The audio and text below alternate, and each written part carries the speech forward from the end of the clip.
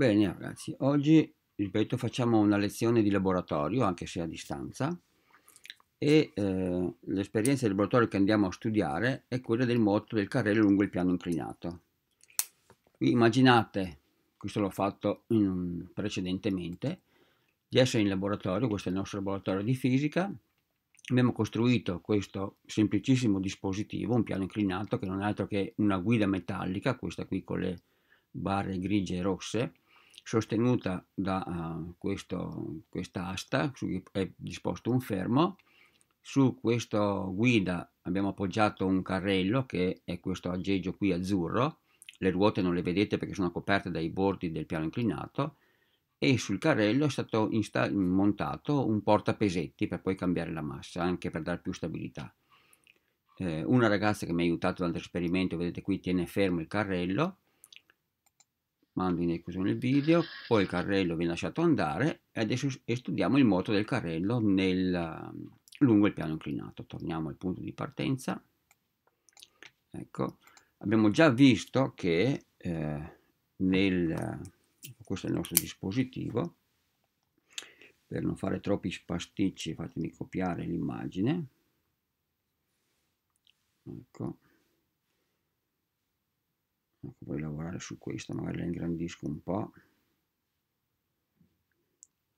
per studiare efficacemente il moto del carrello abbiamo già visto che ci sono in gioco diverse forze.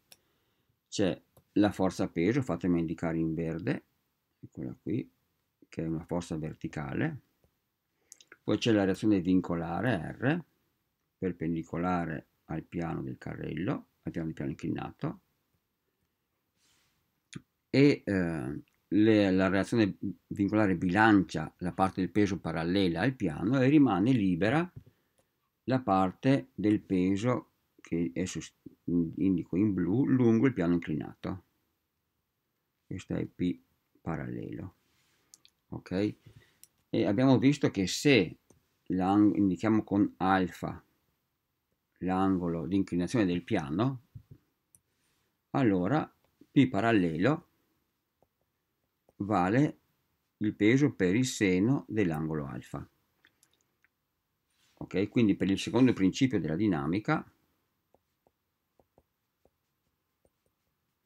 la forza risultante che vale la massa del carrello per la sua accelerazione, vale in questo caso P parallelo, cioè mg per il seno di alfa.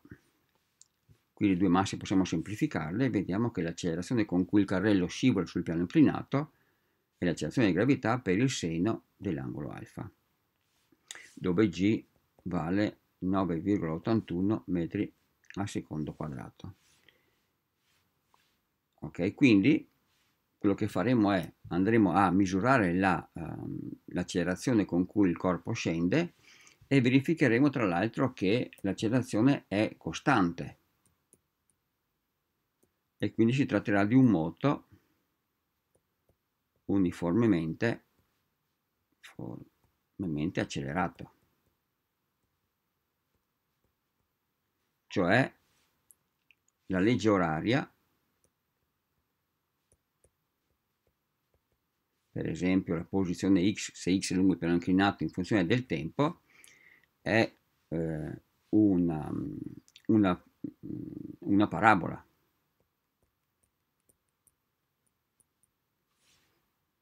Ok? Abbiamo già visto a suo tempo che la parabola avrà una forma x con 0 più la velocità iniziale per il tempo più un mezzo dell'accelerazione per t alla seconda. Okay? E quindi il coefficiente di t quadro è metà dell'accelerazione e quindi andremo a misurare. Oppure possiamo anche utilizzare la velocità in funzione di t e questa sarà una retta.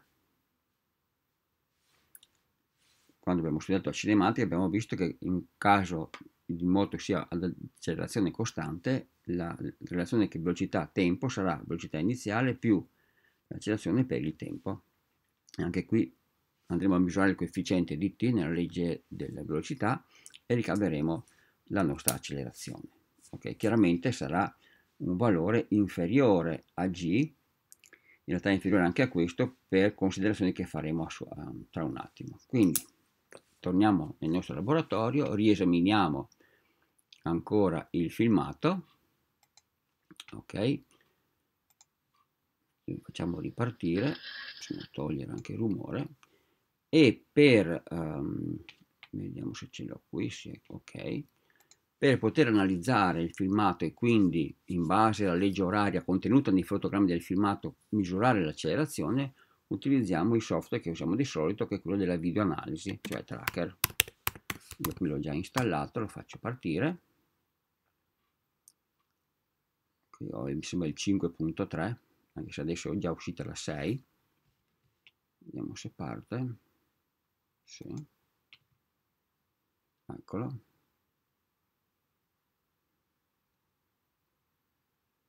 Ok, qui vado ad aprire il filmato, esempio il primo, ecco, vedete che la massa è già fornita nel, nell'immagine del, del, nostro filmato, in questo cartello, poi andiamo a misurare anche l'angolo.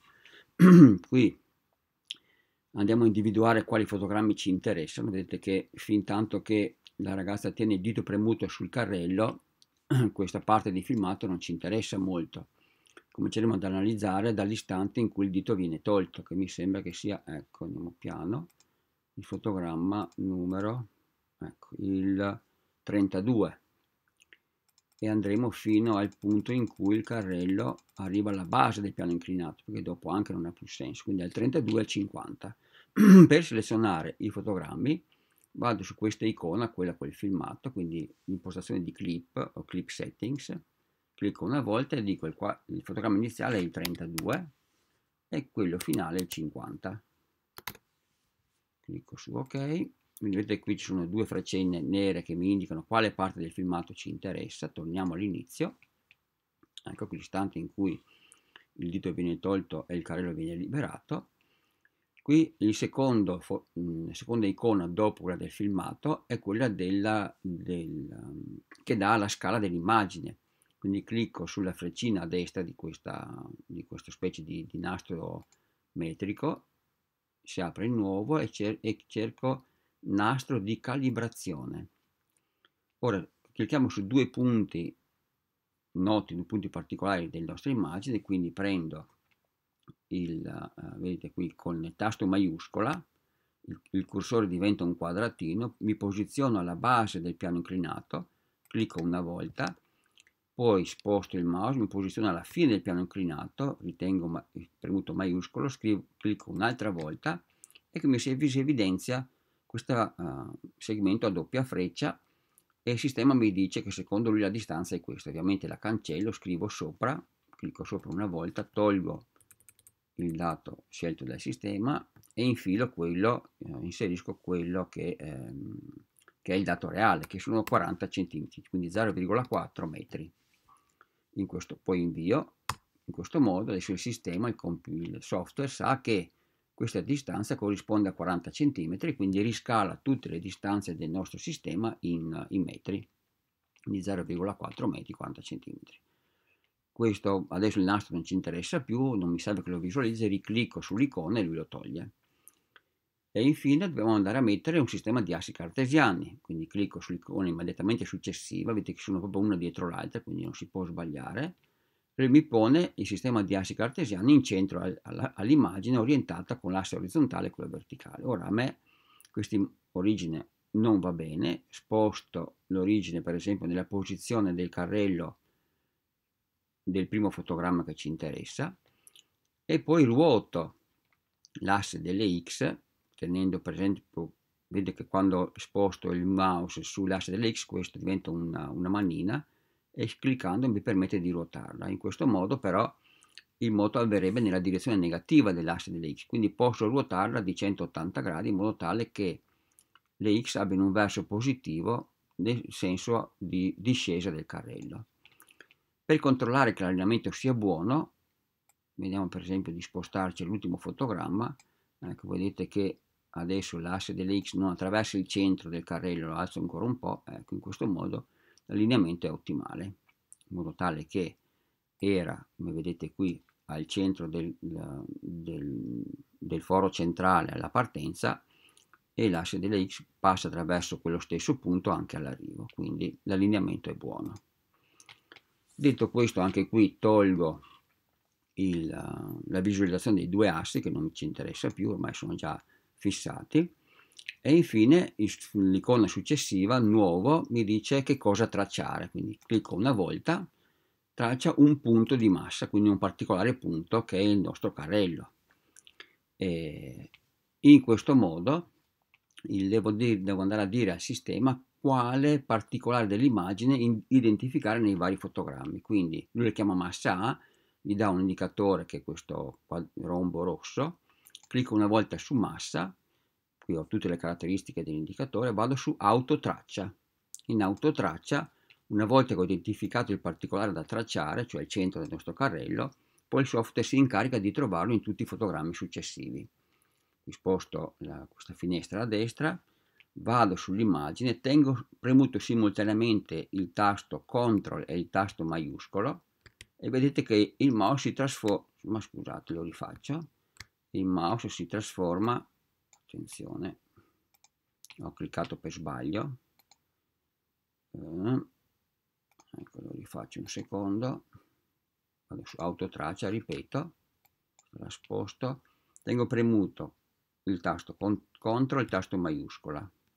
Il mouse si trasforma in un mirino, lo punto al centro del carrello, nel foro centrale. Clicco una volta e mi, si, mi, si, mi appaiono questo è un rettangolo tratteggiato con un puntolino rosso a, a destra e questa è l'area di ricerca, questa la allargo un po', così gli dico che cercherà in questa zona e poi dentro c'è una specie di un altro mirino più piccolo tondo con un altro quadratino rosso, anche questo lo allargo per dirgli quale particolare cercare. Quindi prendo il foro centrale e parte dei due laterali, in modo tale che non abbia dubbi su qual è l'immagine da identificare. Ecco.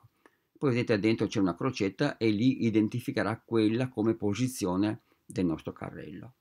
Detto questo, vado sulla nostra finestra appena aperta e clicco cerca. In questo modo il software analizza ogni singolo fotogramma e identificherà quel particolare da un fotogramma all'altro e ne registra le coordinate e poi mi mostra in tempo reale la, uh, la coordinata, la legge oraria nel, nel, grafico che avete qui in alto. Vedete che lui sta andando avanti, in questo modo ottimizziamo un po' i tempi vedete che già si presenta, comincia già a delinearsi una, una parabola, che non, non, sono allineati su una retta perché la legge oraria si presenta come una curva, questo è già un buon risultato.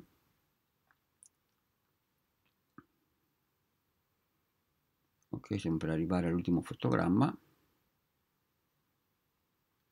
Qui c'è qualche difficoltà evidentemente a, a, determinare la posizione perché l'immagine vedete è un po' sbiadita perché ovviamente è molto veloce il carrello ok questo è l'ultimo fotogramma chiudiamo qui vado su chiudi e adesso il software mi ha fornito una tabella di dati dove c'è la posizione e le coordinate x e y che ha misurato di volta in volta e qui in alto abbiamo il grafico con la legge oraria della coordinata x, cioè la posizione lungo il piano inclinato, ricordate che la x l'abbiamo messa parallelamente al piano, in funzione del tempo. Ok? e, e quindi andiamo, torniamo a esaminare il, questo tipo di grafico, per farlo col pulsante destro del mouse vado sul grafico e vado su analizza. Ok? In questo modo mi si appare, mi si, mi si ingrandisce, mi si zooma la, la, finestra dei dati. Qui ogni singolo puntolino è un fotogramma dove è stato registrato la x, la y e il tempo ogni puntolino viene congiunto al successivo, questo lo tolgo perché in realtà non voglio che sia fatto questo, ma voglio affittare una curva che sia una curva teorica, e poi andiamo su analisi, fit delle curve, fit significa adattare. Ecco, qui il sistema mi propone diversi modelli, uno lineare che ovviamente non va bene, e eh, selezioniamo da questo, anziché lineare, parabolica, cioè una curva che è una parabola, vedete che questa va molto meglio la stessa parabola che attraversa praticamente tutti i punti abbiamo, uh, di cui disponiamo i dati. E eh, qui il sistema mi propone questo tipo di legge, cioè A per T alla seconda più B per T più C. Abbiamo già visto che C corrisponde alla posizione iniziale, B grande alla, uh, alla velocità iniziale e A grande a un mezzo dell'accelerazione. Quindi torniamo alla nostra lavagna, vi ricordate la legge oraria che era questa, quindi la legge oraria per un moto uniformemente accelerato è posizione al tempo t che è uguale posizione iniziale più velocità iniziale per il tempo più un mezzo a t alla seconda. Tracker propone questa forma x che vale eh, a per t alla seconda più b t più c. Quindi il nostro a, il coefficiente di t grande, corrisponde a un mezzo dell'accelerazione. Ok? Poi c'è il coefficiente di t corrisponde alla velocità iniziale e il termine noto c corrisponde alla posizione di partenza x0. Quindi qui andiamo a vedere sul, uh, sul, su quello che ci dice l'analisi del, del, del grafico vediamo dove ce l'abbiamo ecco. Eccola qua dietro.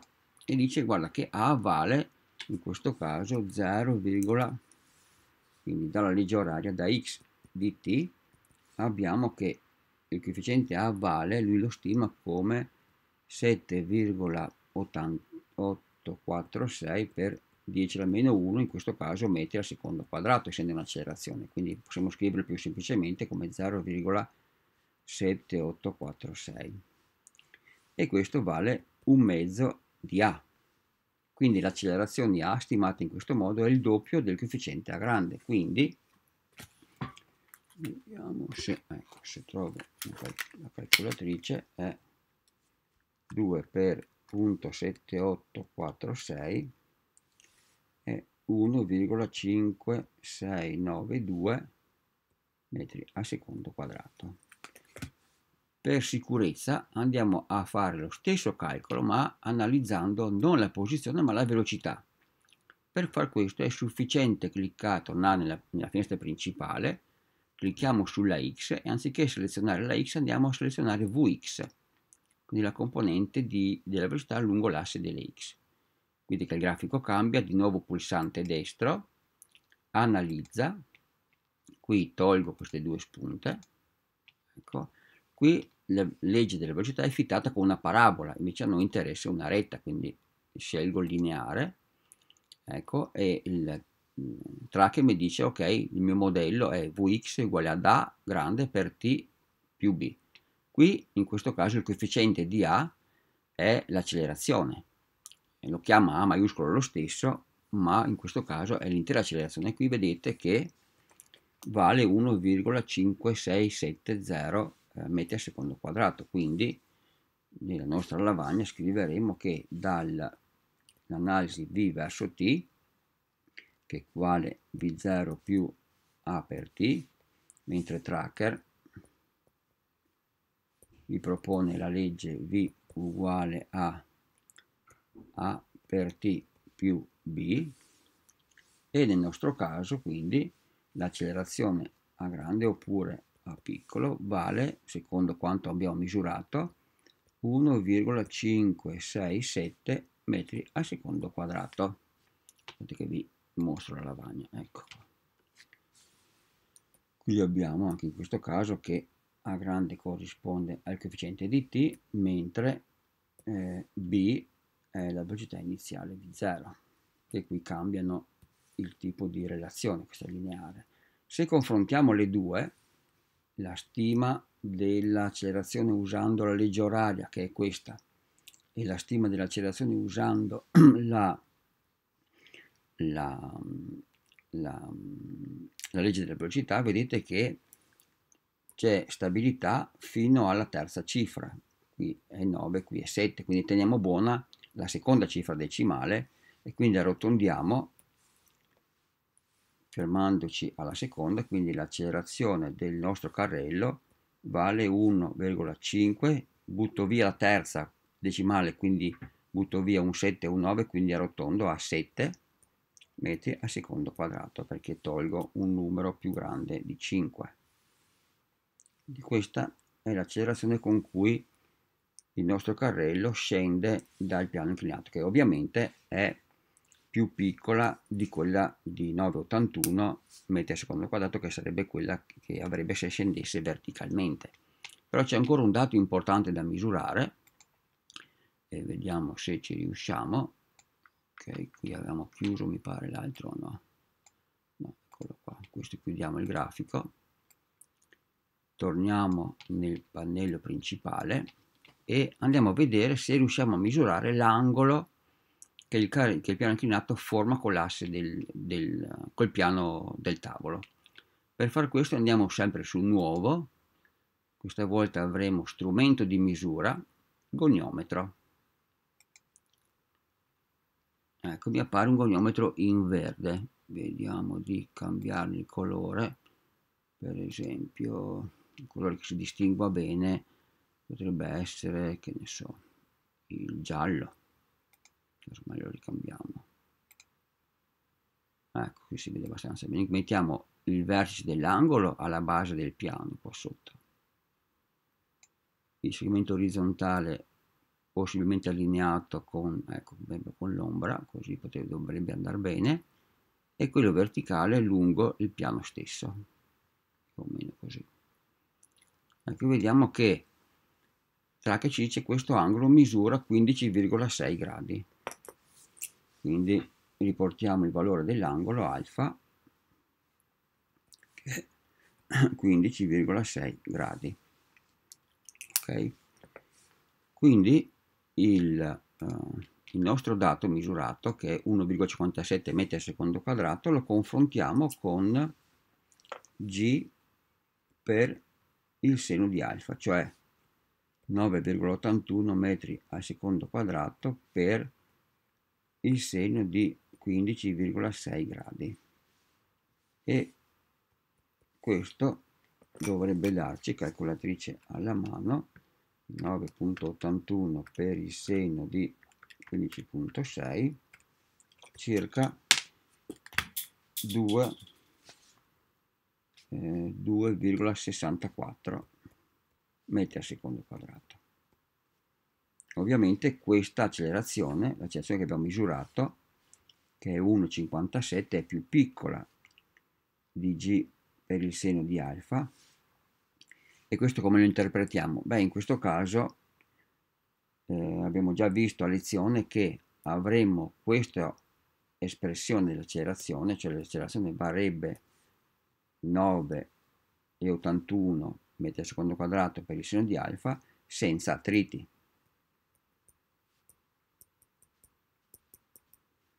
È ragionevole aspettarsi una grandezza, un valore dell'accelerazione più piccolo, come in questo caso, qui abbiamo ripeto 1, eh, cos'era? 57 perché? perché in questo caso l'attrito è rilevante. Ci sono attriti sia all'interno ehm, del carrello che tra le ruote del carrello e il piano inclinato e anche un pochino di attrito con l'aria quindi la differenza tra le due accelerazioni è ragionevolmente legata al fatto che il, il nostro carrello, mentre scivola sul piano inclinato, è ben lungi dal non incontrare attriti. Ok? Ehm, quello che possiamo fare è vedere per esempio se aumentando l'angolo, con un angolo più grande, eh, l'accelerazione cresce di conseguenza. Vediamo se dovremmo avere un po' di tempo ancora, sì, quindi questo chiudiamo questo, una volta che ho, salva, che ho scritto, che ho salvato, che ho insomma, lavorato con Tracker, posso sempre salvare il, il, il file su cui lavoro, lo, lo, salva in formato TRK e qui me lo mette nella cartella dove ho già eh, ho salvato il filmato, dice che esiste uno perché l'avevo già provato prima, lo sovrappongo, chiudo questo filmato, questo, questa sessione di lavoro, ne apriamo un'altra. Ad esempio ok. E analizziamo un altro filmato dove per esempio l'angolo è più grande. Ed eccolo qui sempre massa 1 ma l'angolo 2 vediamo se parte.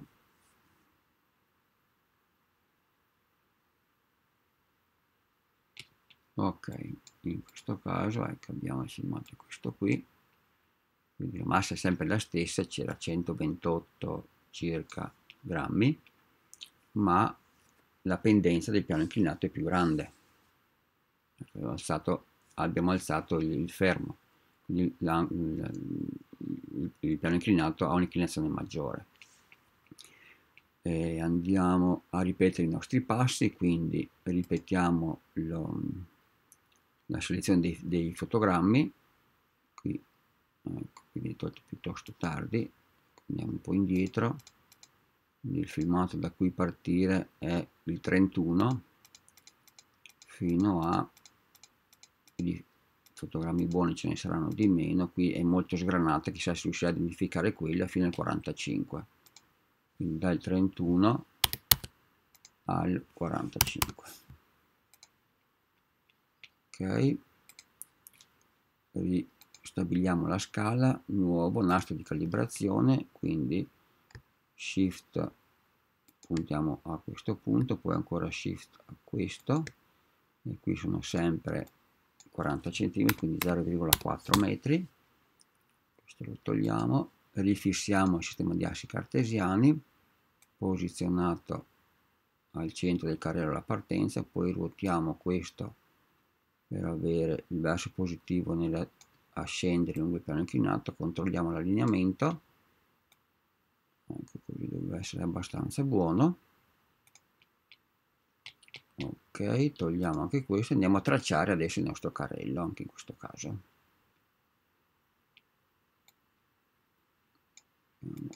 Nuovo punto di massa. Anche qui andiamo con un'autotraccia.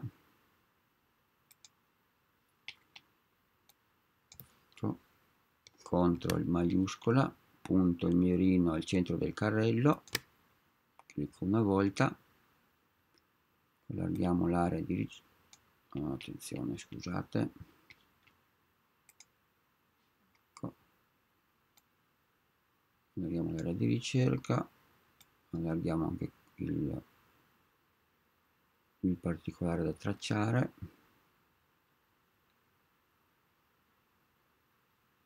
Dovrebbe bastare mi auguro. Ok. Andiamo su cerca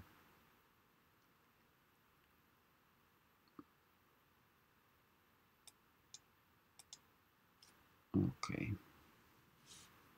Dobbiamo trovare sempre una parabola che sta a indicare che il moto è uniformemente accelerato e vediamo se parte.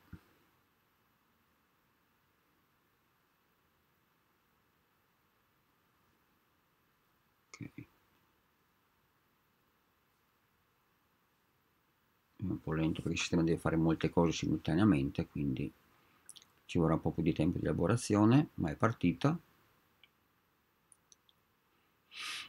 Qui in questo caso ci limiteremo a misurare l'accelerazione dando per scontato che adesso possiamo vedere anche l'angolo che l'angolo è maggiore.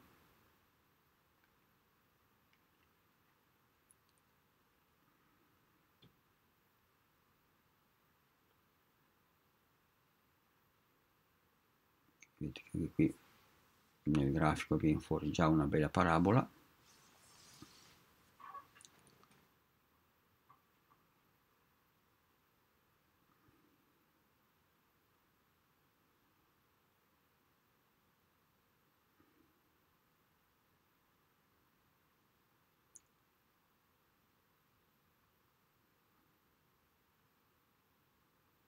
Potremmo già fermarci qui perché poi l'immagine diventa di qualità un po' troppo bassa perché si è identificata in modo efficace, ma insomma diamogli fiducia. Qui mancano ancora un paio di fotogrammi. Ok, direi che può bastare vediamo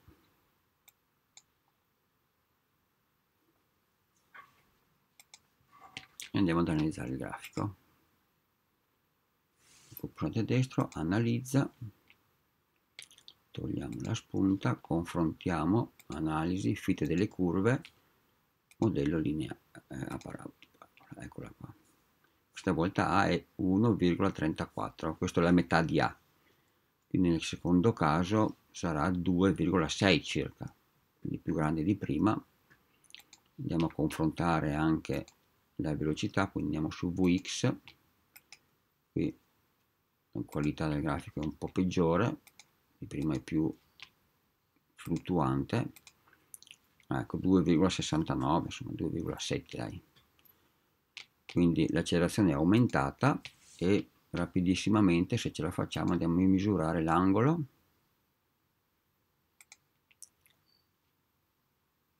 Coloriamolo di giallo così lo vediamo meglio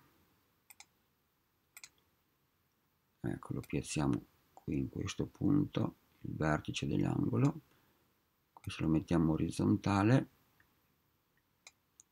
E questo lungo il piano inclinato. Qui abbiamo 25 gradi circa. Quindi con 25,6 gradi l'accelerazione è di 2,69 andiamo a riportarlo sulla nostra lavagna. Quindi nel filmato 2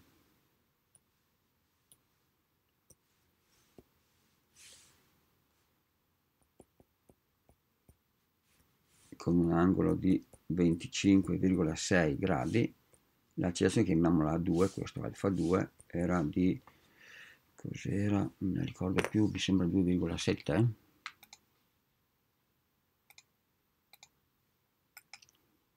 andiamo a rianalizzare. Sì, 2,69 2.69 metri al secondo quadrato. Quindi coerentemente con quanto discusso, all'aumentare dell'angolo l'accelerazione la, uh, aumenta, comunque più piccola di g sen alfa a causa degli attriti. Quindi in questo caso abbiamo verificato che questo tipo di moto è un moto sì uniformemente accelerato, però l'accelerazione risente del fatto che ci sono attriti significativi, cioè non trascurabili, tra eh, il carrello e il piano inclinato e probabilmente anche tra il carrello e l'aria, l'aria fa un po' da freno. Insomma. Ok, se non ci sono domande direi che possiamo fermarci, anche in questo caso possiamo salvare il lavoro svolto. Ok, sovraponiamo quello di prima, sì, e ci fermiamo qui. Quindi le conclusioni sono, nel, abbiamo verificato che il moto del carrello lungo il piano inclinato è un moto uniformemente accelerato, e che eh, l'accelerazione quindi è costante e che il suo valore, il valore esatto dell'accelerazione è, eh, è, è, è, risente della presenza degli attriti. Ok.